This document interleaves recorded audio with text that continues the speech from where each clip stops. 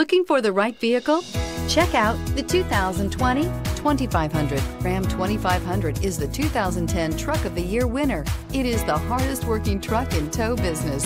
This vehicle has less than 100 miles. Here are some of this vehicle's great options. Towing package, bed liner, aluminum wheels, heated side mirrors, traction control, daytime running lights, remote keyless entry, fog lights, headlights auto off, mirror memory. Come see the car for yourself.